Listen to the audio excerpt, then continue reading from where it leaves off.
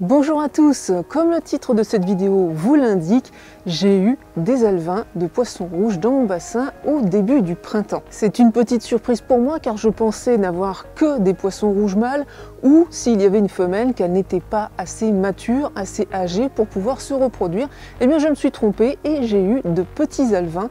Un matin en nourrissant mes poissons rouges, je me suis rendu compte que de petites virgules nageaient dans l'eau. Alors je me doute que vous avez des tas de questions, qui sont les parents, de quelle couleur sont-ils, combien il y en a, vous voulez très certainement les voir et on va tout de suite les regarder ensemble et je vais essayer de répondre aux questions que vous pourriez vous poser sur la reproduction de poissons rouges dans les bassins.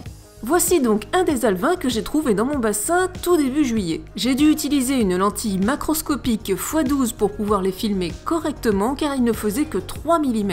Je n'ai pu constater la présence d'alvins dans mon bassin qu'à partir du moment où ceux-ci étaient passés au stade de la nage libre, soit environ une semaine après éclosion. L'alvin que vous voyez actuellement à l'écran avait donc entre 7 et 10 jours. À cet âge-là, ils nagent le plus souvent en surface, on peut donc facilement les voir si on a de bons yeux.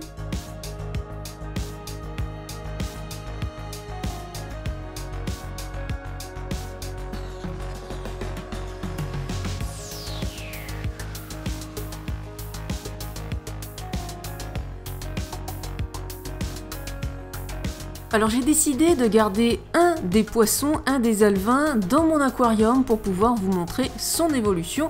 Les autres, je les ai laissés faire leur vie dans le bassin. Il a donc actuellement pour lui tout seul un aquarium de 240 litres correctement filtré et correctement planté. Cela étant dit, il a quand même grandi moins vite que ses copains qui sont restés dans le bassin. Pourquoi cela? Eh bien parce que les alvins qui sont restés au bassin ont profité tout l'été d'une nourriture plus variée et plus protéinée. Toutes les petites bêtes qui tombent dans le bassin ou les larves de moustiques par exemple, tout ça c'est des protéines qui sont bonnes pour la croissance et qui ont fait grandir beaucoup plus vite les alvins du bassin. Le volume d'eau n'est donc pas le seul critère pour une bonne croissance des alvins. De la même façon, cela nous démontre que l'on ne peut pas déterminer l'âge d'un poisson suivant sa taille. Tous les alvins ne grandissant pas de la même façon et surtout à la même vitesse. Et les voici, les voilà, les trois alvins rescapés du bassin. Vous le voyez, ils sont assez gros.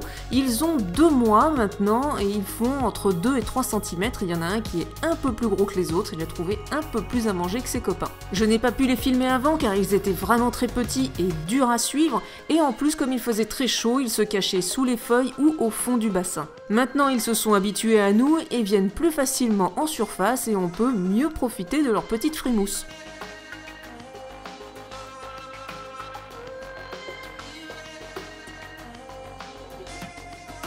Notre premier réflexe quand on découvre des alvins dans notre bassin, c'est de vouloir les isoler pour qu'ils ne se fassent pas manger par les adultes et qu'ils ne se fassent pas non plus dévorer par d'autres petites bêtes. Mon conseil serait plutôt de laisser les alvins se débrouiller dans le bassin pour une bonne croissance et aussi pour limiter la population.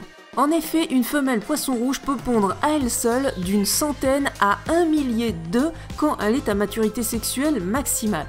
Sur ces quantités, il y aura toujours un petit pourcentage d'alvins qui vont réussir à survivre et à grandir, donc ne vous inquiétez pas pour vos alvins, et puis dites-vous bien que s'il y a eu une première ponte, il y en aura d'autres, donc vous aurez toujours quelques alvins tous les ans si vous avez au moins un couple de poissons rouges dans votre bassin.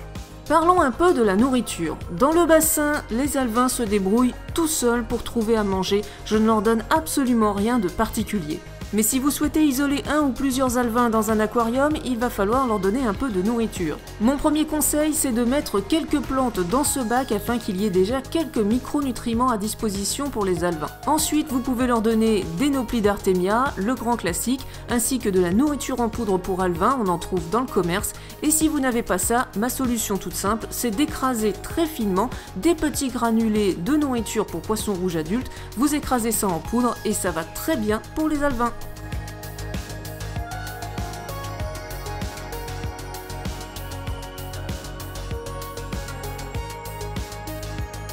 Alors, venons-en maintenant à la question des parents. Qui sont les parents de ces petits alvins? Si vous avez suivi mes précédentes vidéos, il y avait à l'origine dans mon bassin trois poissons rouges, mais un s'est fait attaquer par un prédateur et a disparu avant la ponte, donc fatalement, mon oranda est le papa, et le petit fantel rouge et la maman, j'ai donc un couple dans mon bassin.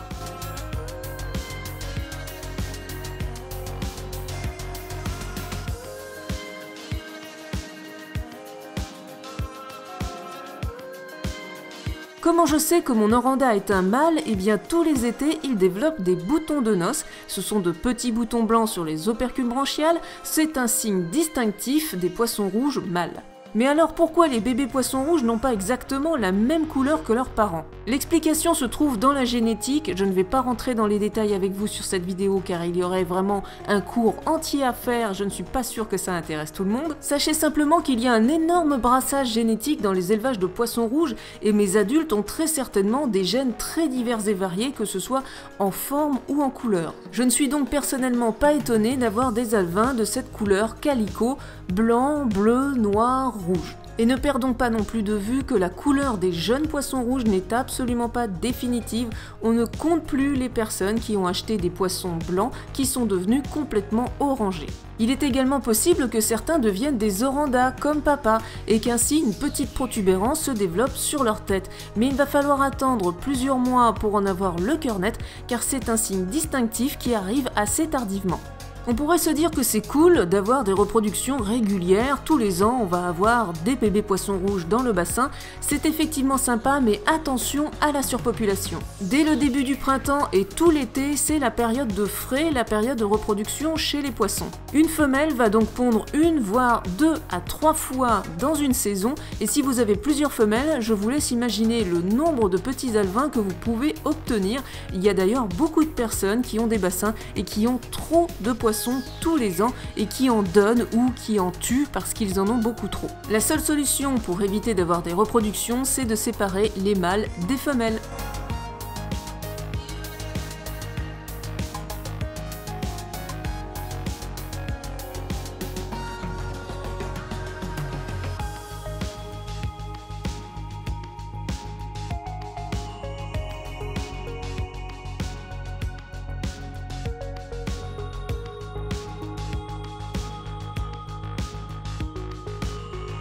Si comme moi vous habitez en France ou dans un pays où il peut potentiellement y avoir des températures négatives en hiver, on peut se poser la question de savoir s'il vaut mieux rentrer les alvins au chaud à l'intérieur et les ressortir au printemps prochain. Qu'en est-il donc de leur premier hiver? Pour des alvins nés au tout début du printemps, ils doivent normalement fin septembre être suffisamment grands pour pouvoir supporter leur premier hiver au bassin. En revanche, pour des alvins qui seraient nés en fin d'été, par exemple au mois de septembre, ils vont être un peu petits pour passer sereinement l'hiver au bassin.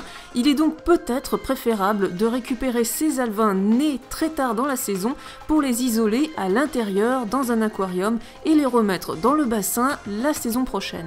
Et puis si vous avez quelques chouchous parmi les alvins qui sont nés dans votre bassin, vous pouvez les sauvegarder tout particulièrement et leur éviter le premier hiver au bassin en les gardant au chaud dans un aquarium à la maison. En ce qui me concerne, je vais retirer les trois alvins du bassin pour les mettre avec leur copain qui est déjà dans le 240 litres. Ils pourraient tout à fait passer leur premier hiver au bassin, mais je les récupère dans l'aquarium pour deux raisons. La première, c'est pour pouvoir prendre des photos et des vidéos régulièrement pour vous montrer les petits et leur évolution. Et la deuxième raison, c'est pour pouvoir les sexer plus rapidement et plus facilement afin d'éviter d'avoir trop de reproduction et de consanguinité.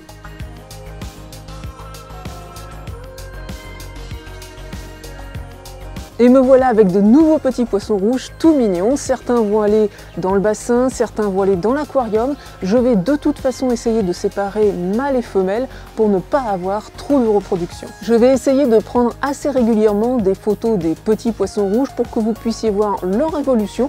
Vous pourrez retrouver ces photos directement sur le compte Instagram de la chaîne, le poisson rouge off. Voilà, j'espère que cette vidéo vous aura plu et que vous aurez pris quelques informations sur la reproduction des poissons rouges en bassin en particulier.